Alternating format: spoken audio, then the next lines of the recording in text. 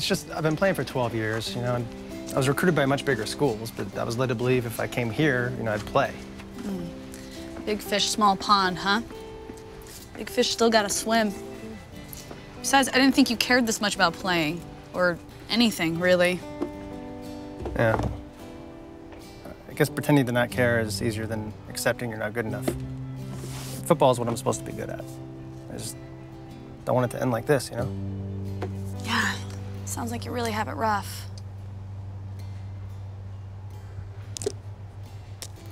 Look, if it's not working out for you, you have to change it up.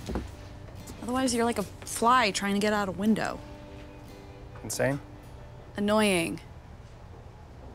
Like, you have to work for the good stuff. That's what makes it good. Even if it lasts for just a moment.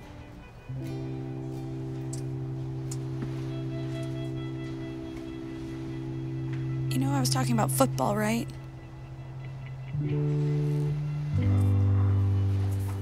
Dance of Sheba. Oh, there it is.